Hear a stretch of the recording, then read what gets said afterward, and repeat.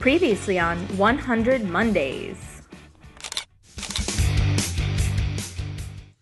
This is a piece that I started working on when we were still in quarantine. Sometimes your femininity stands alone and separate from interacting with someone else.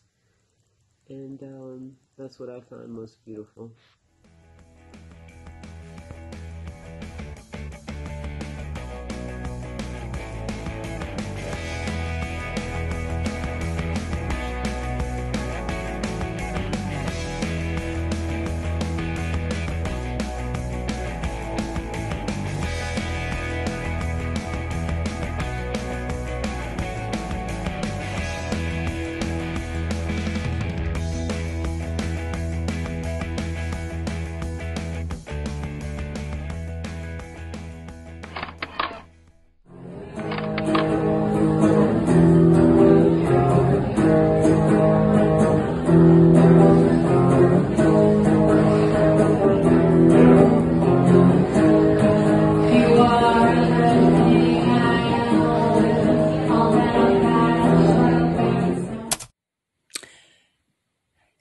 Hey, what's up, everybody? It's time for another 100 Mondays, and as you can see, I've continued working on the wall, still working on those roofs, and getting finally closer to the bottom of the other side. I mean, bottom of the right side of the wall, um, and hopefully finally getting done soon.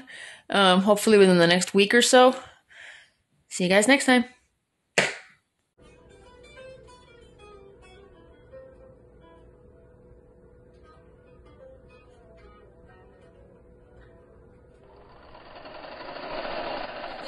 Another commission. Um, this one consisting of the yin and yang.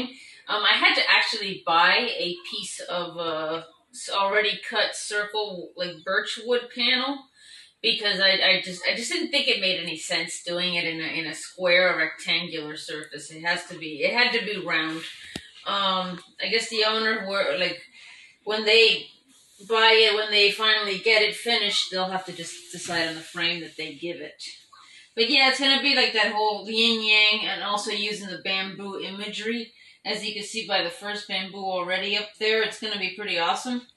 So uh, we're gonna see as this develops.